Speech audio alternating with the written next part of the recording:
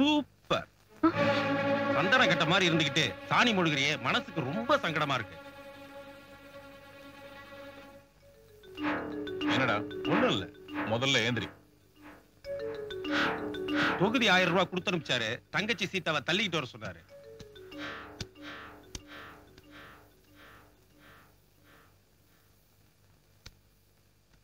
பணத்தை பாக்கெட்ல வச்சுக்கிட்டு மரியாதையை வீடு போய் சேரு. அனாவசியமா தகராறு பண்ணாத. அட ஏன்பா கோவிச்சுக்கிற? அவ என்ன தாலி கட்டின பொண்டாட்டியா? குடிசைக்குள்ள வச்சு கூட்டி குடுக்குறிய வாசல தண்ணா கொஞ்சம் வசதியா இருக்கலாம்னு சொன்னம்பா இல்லாட்டி ஒண்ணு பண்ணு. மொத்தமா விலை பேசி குத்தகையா என்கிட்ட விட்டுரு.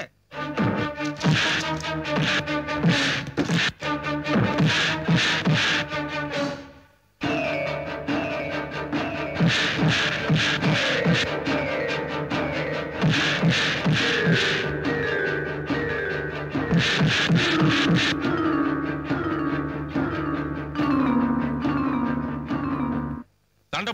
போடும்போது பார்க்க தெரியுது இல்ல வீட்டுல இருந்து அவளை பாத்துக்க வேண்டியதானே கோஸ்ட் போயிட்டா இப்ப வந்து சொல்றீங்க. உன்னை எவன் அங்க வந்து மோளம் அடிக்க சொன்னது. எம்எல்ஏ மாதிரி துண்டு வேற துண்டு. இப்ப மட்டும் வீட்டுல இல்ல உன்னை உண்டு இல்லன்னு ஆகிடுவேன். நீ கட்டு கட்டுக்கு மோளம் வேற.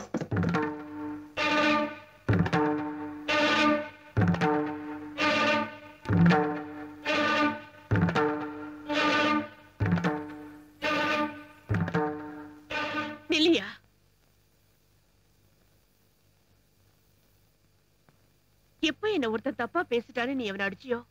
அப்பவே உன் வீட்டுல மட்டும் இல்ல உன் மனசுலயும் நான் இருக்கேயா? யோ உனக்கு பல பேரை அடிக்கிற பலம் இருக்குன்னு எல்லாருக்கும் தெரியும். ஆனா உனக்குள்ள மனசுன்னு ஒண்ணு இருக்குன்னு எனக்கு மட்டும் தயா தெரியும். அது இந்த ஊருக்கே தெரியட்டும் கட்டியா தாலிய.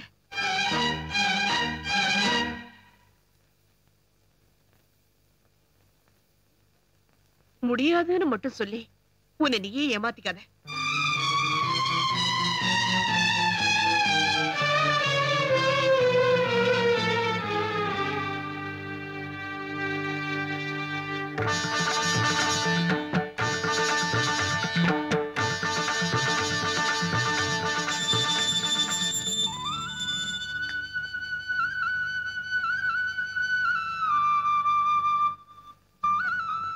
நிறைஞ்ச மனசோட சொல்றேன்ப்பா. நீங்க ரெண்டு பேரும் நல்லா இருக்கணும். எல்லாரும் லட்சுமிகரமா பொண்டாட்டி அமையணும்னு சொல்லுவாங்க. உனக்கு அந்த மகாலட்சுமியே பொண்டாட்டி அமைஞ்சிருக்கா. காலம் பூரா அவளை கண்கலங்காம வச்சு காப்பாத்துப்பா.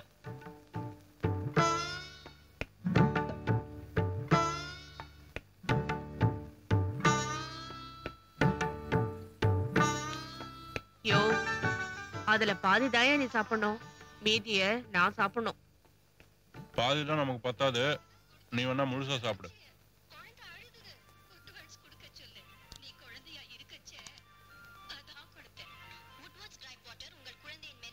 என்ன மாதிரி உட்காரு? உட்கார சொல்றேன்.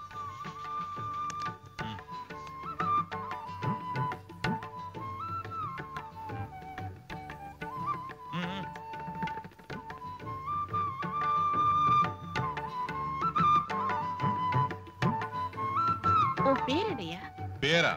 யாருக்கு தெரியும்? பெத்தவங்க இருந்தா தானே பேர் வைக்கிறதுக்கு. பின்ன எல்லாரும் உன்னை எப்படி கூப்பிடுவாங்க? என்னை யாரும் கூப்பிட மாட்டாங்க. நமக்கு பர்மனண்ட் எல்லாம் பேர் கிடையாது. அப்படியே அவனாவது பேர் வச்சு கூப்பிட்டானா பேஜாரிட மாட்டான் அவன். சரி நான் உனக்கு ஒரு நல்ல பேரை வைக்கட்டுமா. என்னவோ அங்கங்க கல்யாணத்துக்கு அப்புறம் புருஷ பொண்டாட்டி சேர்ந்து பிள்ளைக்கு பேர் வைப்பாங்க. ஏன் தலை எழுதி ஏன் புருஷனுக்கு நான் பேர் வைக்க வேண்டியிருக்கு. வைக்கிறதா வைக்கிற? நல்ல ஒரு இங்கிலீஷ் பேரா வையன். ஒரு மதிப்பா இருக்கும்ல. முரட்டுத்தனமா ஒரு ஆள் இருப்பானே? குதிரை மேல எல்லாம் போவானே? மதுரை வீரனா? ஆ நெப்போலியன். ஆ நெப்போலியன். எனக்கு அந்த பேர் நல்லா தெரியும். நல்லா பழக்கமாச்சு எனக்கு அவரு. உனக்கு பழக்கமா. இப்படி அது வந்து நம்ம கையில் நிறைய மால் வந்துன்னு வச்சுக்கோ. மஜா பண்றதுக்கு நான் அந்த பிராண்டி தான் வாங்குவேன். Napoleon brandy. எனக்கு ரொம்ப நல்லா தெரியும். அது வந்து அது வந்து என்னைய தேடுற? இல்ல இங்க ஒரு பழைய நெப்போலியன் பாட்டில் ஒண்ணு வச்சிருந்தேன். அது இருந்தா உங்ககிட்ட காட்டலாம்னு சொல்லி இனிமே இந்த பாட்டில் இந்த நெப்போலியன் இதெல்லாம் மறந்துடணும் ஓகே? இப்ப நான் உனக்கு ஒரு நல்ல பேரா வைக்க போறேன். ம். சீதாராமன். சீதாராமன் எப்படி இருக்கு? நல்லா இருக்கு. சீதாராமன் அஞ்சு எழுத்து அமக்கலமா இருக்கு. ஓய் என்னடா சாவட்ட? பட்டையை கழட்டிடுவேன் ஜாக்கிரதை. அவசரப்படாதனே நீங்க பாட்டு உங்க வேலையை பாருங்க. நம்ம ஏரியா டிவில ஒளியும் ஒளியும் காட்டுறாங்க. பாக்குறீங்களான்னு கேட்டேன். இல்ல இல்ல நாங்க இங்க இருந்தே பாக்குறோம் எது? உள்ள இருந்தே பாக்குறீங்களா என்னத்த சொல்றாங்கன்னே தெரியல ஒண்ணுமே. ஒளியும் ஒளியும் அங்க. புரியுது. புரிஞ்சா போதது போயா? என்னங்கடா ஆல் சைலன்ஸ் தாய்மார்களின் கவனத்திற்கு அடுத்த குழந்தை இப்போது வேண்டாம். ஒரு குடும்பம் ஒரு வாரிசு. கையெடு. எதுக்கு? எடு. ஆ. என்னையா திடீர்னு? இல்ல அன்னைக்கு கர்ப்பமா இருக்கேன்னு சொன்ன. வயிறு உப்பவே இல்ல அப்படியே இருக்கு. அப்படியா சொன்ன? இல்லையே. பொய்யா சொன்ன? பொய்யாடி சொன்ன? ஏன் அப்படி என்ன ஏமாத்துன? உன்னை இப்படி மாத்தணுங்கிறதுக்காக தான் போய் சொன்னேன் கைய மேல போடு. நல்லா போடு. எதுக்கா என்ன பொய் சொல்லி ஏமாத்துன? சொல்லு. பொய் சொல்ல நீ என்கிட்ட. விடு இப்ப உண்மை நேத்து ராத்திரி எம்மா தூக்கம் போச்சுடி எம்மா. இந்த முகவெட்டு கூட நல்லா தான் இருக்கு என்னடி? அண்ணாத்த இப்படி திடீர்னு சேவெல்லாம் பண்ண ஆரம்பிச்சாரு அது ராத்திரில தாடி குத்துதுன்னு சொல்லிருப்பா அதான் சேவ் பண்றாரு. ஒரே ராத்திரில கருப்பனுக்கு எப்படி களை வந்துருச்சு பாத்தியா? மூஞ்ச பாரு.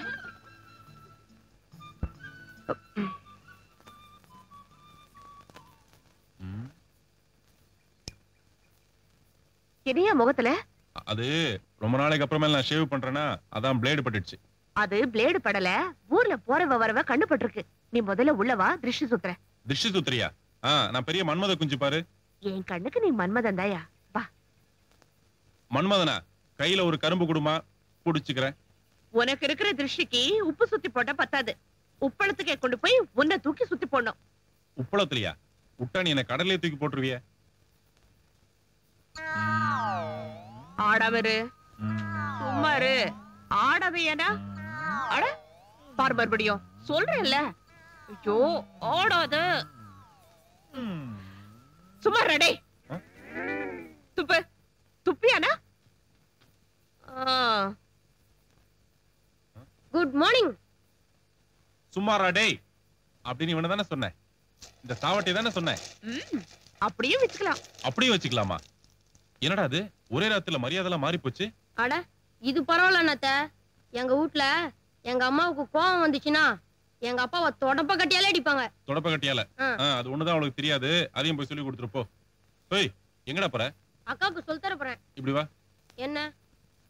கொஞ்சம் திரும்பி நில்லு. இன்னும் கொஞ்சம் திரும்புடா. ஐ அக்கு நான் திரும்பினா நீ உதைப்பியே. நீ திரும்பாட்டியும் நான் உதப்பனே. வெளியில சொன்னா வெட்டி போட்டுருவேன் அடிங். மிஸ்டர் சீதாராமன் ஒரு நிமிஷம் இருக்க வர இன்னொரு வாட்டி நீ புருஷன் மண்டாடிக்குள்ள கோல் மூட்டின அவ்வளவுதான் அவனை உண்டு இல்லைன்னு ஆகிடுவேன் என்ன? யோ இந்த செயின் உன் கழுத்துக்கு ரொம்ப சின்னதா இல்ல? அதுக்கு பதிலா இந்த சைக்கிள் செயின் போட்டுக்கோ. பெருசா அழகா இருக்கும். என்ன கிண்டல் பண்றியா? கிண்டல் இல்ல நிஜமாதையா? இந்த சைக்கிள் செயினை போட்டுக்கிட்டா ரவுடின்னு பளிச்சுன்னு தெரியும்ல?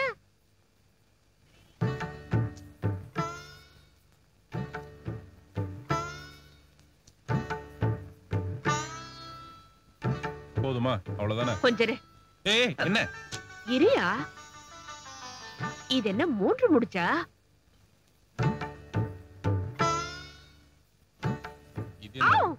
என்னையா? இது என்ன முந்தானே முடிச்சா? ஆ! என்னையா என்னாச்சு? இந்த பக்கம் திடீர்னு கொஞ்சம் வலிக்குதே. ஏதாவது மருந்து இருந்தா போட. அதுக்கு என்ன மருந்து போடணும்னு எனக்கு தெரியும்!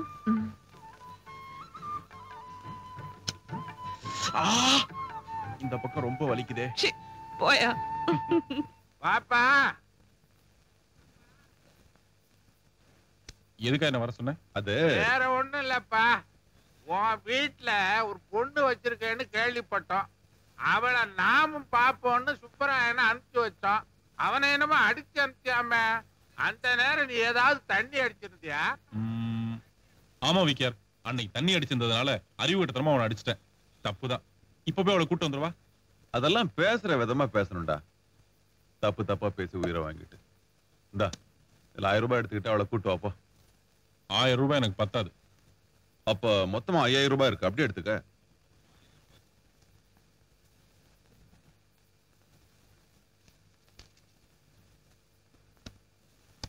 இதுல ஐயாயிரத்தி ஒரு ரூபாய் இருக்கு. நான் சொல்ற இடத்துக்கு உன் பொண்டாட்டி அனுப்பி. என்னடா சொன்ன?